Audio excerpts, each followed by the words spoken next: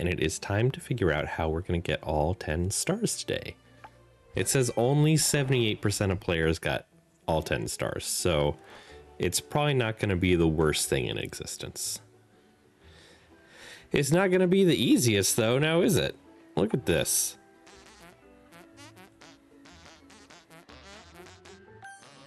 Oh, those things move too. That's fine though.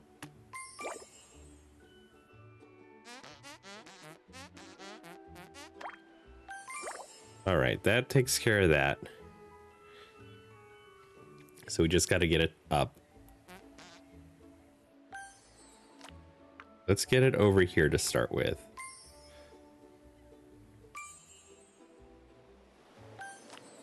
I don't need you, actually.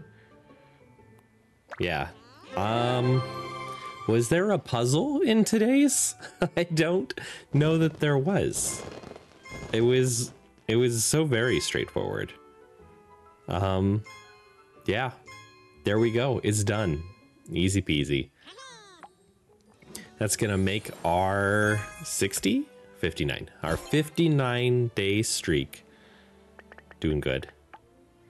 Top 36% of players. I, I actually did it in a fast pace today. So thank you for joining me, and I will see you again tomorrow. All right? Mm, bye.